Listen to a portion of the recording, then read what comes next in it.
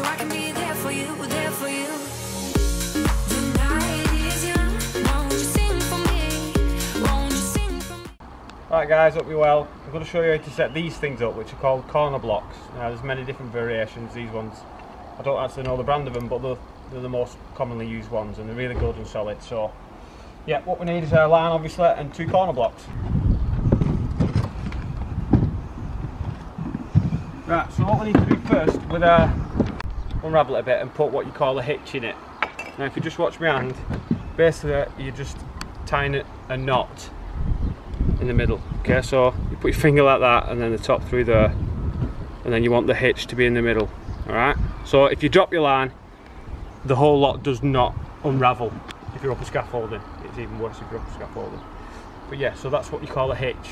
You might uh, need to Google that. So basically you just round your finger like that and then back underneath and then make sure it's in the middle.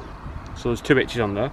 Once you've got your hitch, you want to feed the line through the back of the corner block. Right, give yourself plenty because you're going to need to wrap it up. And what we want to do is we want to do a figure of eight movement. So just, just hold the line in place there and just basically snap it in and do figure of eights a few times. There's no set amount or anything, just whenever you think's right and then just give it a couple of wraps. There we have it. So got our corner block on there, place it on your profile. See it dropped and the hitch saved it, didn't unravel. Alright, so now we're going to set up the other one. So keep keep the tension on the line, okay, and, push in like that. If you pull out, it might come off. Keep the tension on, tension, tension. Wait till we find our other.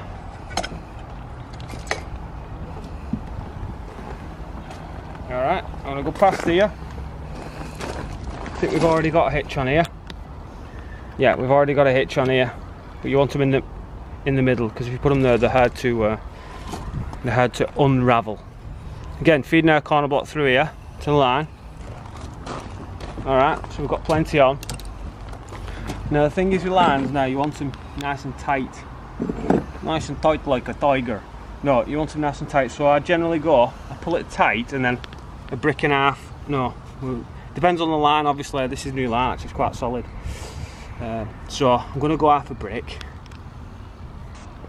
So when it's nice and tight, there, you want to do again, figure of eight, snap it in place a couple of times.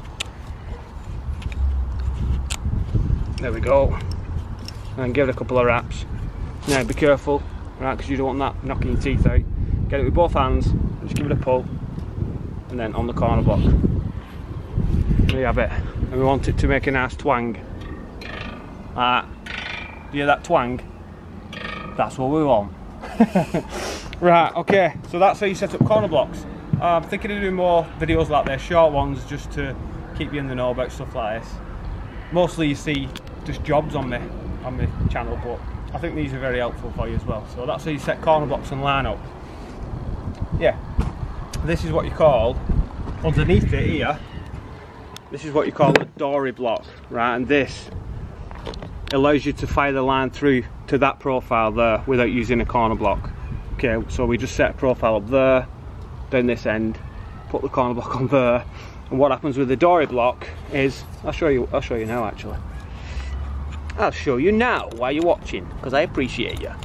Right, oh, that's come off. but basically what happens here is a dory block, a line fires through, okay, we wrap that there like so.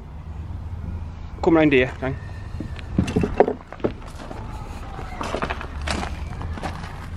Like that. This same same thing here. Figure of eight. And then it clips around this little pin here.